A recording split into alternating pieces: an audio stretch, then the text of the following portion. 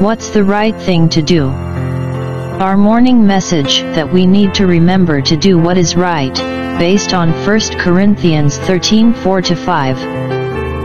I don't know about you, but I have kept many secrets in my life. Most of them were small and not important, but a few of these secrets were pretty big.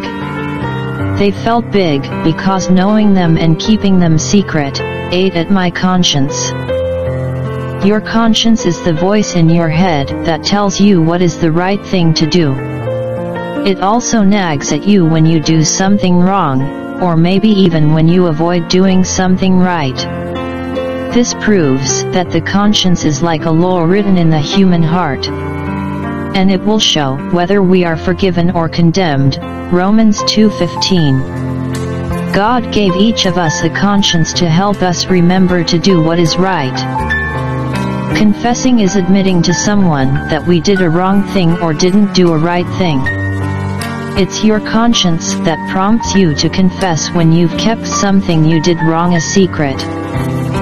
One secret I kept for a long time was how bad I felt that I'd ignored a neighborhood friend when she first started coming to my school. I thought she wouldn't fit in with my other friends. Afraid to do the right thing, I didn't include her in my group. For years, my conscience made me feel bad about how I had treated her. I wasn't able to get rid of that bad feeling until I confessed to her how badly I felt for what I'd done. By confessing to my friend, I gave her the chance to forgive me. And I forgave myself. Prayer. Dear God, we praise and thank you for our conscience. We are especially glad when it pricks us to do the right thing. Help us today to listen to it and take action to do what is right. Amen. I am truly glad you spent time to view this message. I hope you are blessed and share this with somebody else.